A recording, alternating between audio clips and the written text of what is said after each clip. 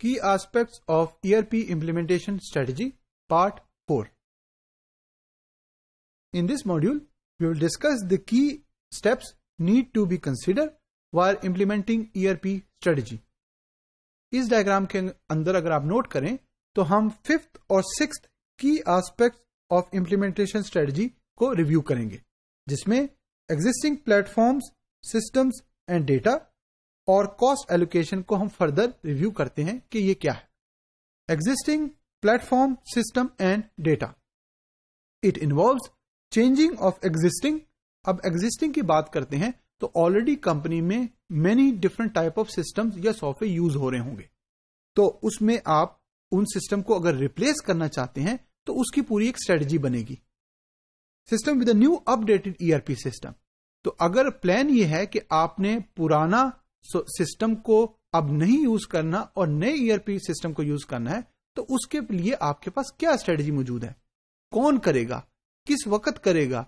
क्या आपने उसके लिए टाइम एलोकेट किया है? क्या आपने उसके लिए रिसोर्सेज एलोकेट किए हैं? Data interfaces and configuration rules need to be change इस वजह से क्योंकि पहले जो आप सिस्टम यूज़ कर रहे थे, पहले जो आप सॉफ्टवेयर यूज़ कर रहे थे, उसमें डेटाबेसिस हो सकता है डिफरेंट किस्म की हो। डिफरेंट किस्म की एप्लीकेशन यूज़ हो रही हो और यूज़र को मैनेज करने के लिए डिफरेंट किस्म के कन्फिग्रेशन और कस्टमाइजेशन हो। लेकिन जब आपने नया एपी सिस्टम लेकर आना है, उसके लिए कन्फिग्रेशन रूल्स भी चेंज होंगे। डेटा आपने कौन से डेटाबेस मैनेजमेंट सिस्टम को यूज़ करके स्टोर करना है, वो भी चेंज होगा। तो वो सारी चीज़ें की कंसिडरेशन और स्ट्रेटजी आपको बनानी पड़ेगी। To be change from the replacing the legacy system with new ERP system तो ये सारी चीज़ें आपको कंसिडर करनी पड़ेंगी कि कैसे करना है, क्यों करना है, कौन करेगा, कब ये कंप्लीट होगा।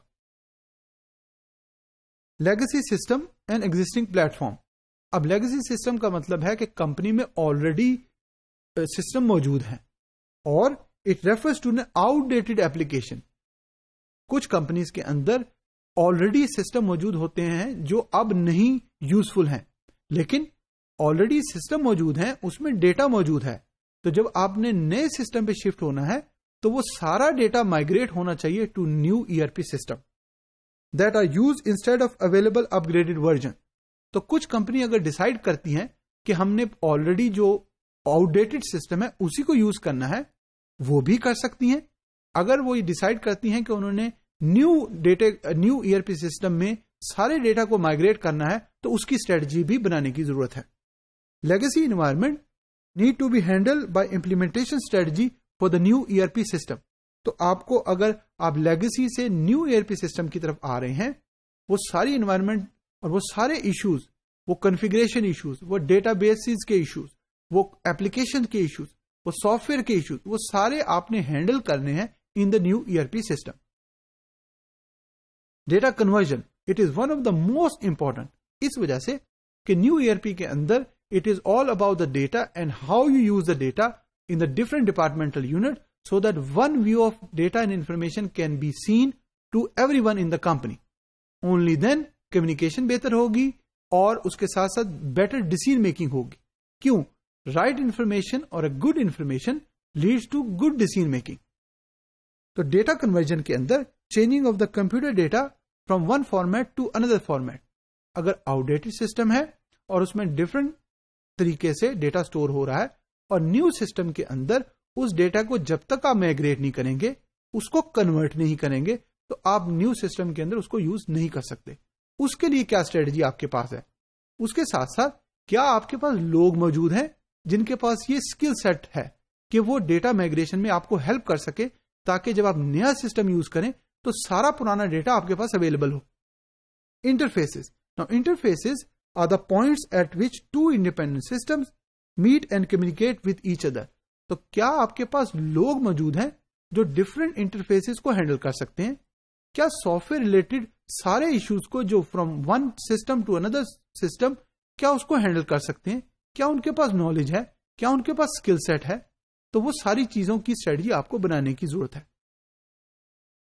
Configuration rules rules for tracking and controlling changes in the software तो वो सारे कन्फिग्रेशन रूल्स के कैसे आपने प्रॉब्लम को कंट्रोल करना है, कैसे आपने अगर सॉफ्टवेयर रिलेटेड इश्यूज़ आ रहे हैं, उनको हैंडल करना है it is the most difficult stage in ERP implementation that requires great detail major planning and careful execution now detail का मतलब है कि आपने ईच एंड एवरी आइटम को डॉक्यूमेंट करना है। जब आपने डॉक्यूमेंट नहीं किया तो फिर उसके बाद बेहतर प्लानिंग नहीं हो सकती। जब डॉक्यूमेंट होगा तो वो हेल्प करेगा in making a good plan जब प्लान अच्छा बना तो फिर उसके साथ साथ पॉसिबिलिटी इज़ के एग्जीक्यूशन भी अच्छी होगी और बेहतर होगी। कॉस्ट एलोकेशन अब कॉस्ट एलोकेशन के अंदर it is a process of calculating the cost of completing a project आपको एक हाई हैवी बजट चाहिए, जिसमें आपको सारे रिसोर्सेज की प्रॉपर प्लानिंग करनी है। कितने पैसे लगेंगे, कितने लोग हायर होंगे, उनकी सैलरीज क्या होगी, क्या इक्विपमेंट बाय करना है, कौन सा सॉफ्टवेयर बाय करना है, कौन सा हार्डवेयर बाय करना है, क्या नेटवर्क के इक्विपमेंट्स बाय करने तो अच्छी खासी और हैवी कॉस्ट इन्वॉल्व होगी। One of the most costly technology initiative in most of the companies this initiative is consider one of the costly क्यों? क्योंकि it is not only one view और one departmental unit that will convert into a new onto a new system but it is the all the departmental units that will start using uh, one ERP system in a company. Acquiring cost include packaged ERP software अगर आप ERP vendor से खरीद रहे हैं उसकी cost hardware नया आपने server खरीदना है नया हार्डवेयर खरीदना है फॉर यूज़र्स उसकी पैसे प्रोफेशनल सर्विसेज़ अगर आप आउटसाइड कंसल्टेंट को हायर करते हैं तो उसके लिए पैसे चाहिए। अगर ईआरपी e एक्सपर्ट्स जो मार्केट में अवेलेबल हैं डेफिनेटली उसकी कॉस्ट है। तो आपको सारी चीज़ों को देखना है कि आपके पास क्या बजट है, क्या कंपनी इन्वेस्ट करना चाहती है, क्योंकि अगर वो इन्वेस्ट करती है तो you will be managing the information in the best way and based on that information you can make good decision making it is important to define the budget कितने पैसे आपके पास हैं? एस्टिमेट ऑफ़ रेवेन्यूज आप क्या बेहतर तरीके से revenue हासिल कर सकते हैं? एक्सपेंसेस क्या होंगे? एंड फंडिंग सोर्सेज वो फंडिंग सोर्सेज क्या होंगी? क्योंकि आपको फाइनेंशियल रिसोर्स की ज़रूरत है। सॉफ्टवेयर बाय करने के लिए पैसे चाहिए। ट्रेनिंग का मटेरियल प्रिपेयर करने के लिए पैसे चाहिए। लोगों को हायर करने के लिए पैसे चाहिए। तो वो क्या फंडिंग सोर्सेज मौजूद होंगे? Before ERP implementation and duration of the project and pay back period उस पूरे प्रोजेक्ट का फ्रॉम स्टार्ट टिल एंड कितना टाइम होगा? और पे बैक पीरियड क्या होगा कि आपने कितने अरसे तक उससे बेनिफिट्स हासिल करने हैं? Needed to be determine for expected return on investment तो cost is one of the most important factor आपके पास और आपकी कंपनी के पास क्या पैसे मौजूद हैं? अगर पैसे मौजूद हैं, क्या सोर्सेज हैं? कितने लोगों को हायर करेंगे? क्या हार्डवेयर बाय करेंगे? क्या सॉफ्टवेयर बाय करेंगे? एक्सटर्नल कंसल्टेंट लेकर आ रहे हैं, वो कौन होगा, वो कितने पैसे मांगेगा तो वो सारी चीज़ें इन्वॉल्व होंगी while you are making a good implementation strategy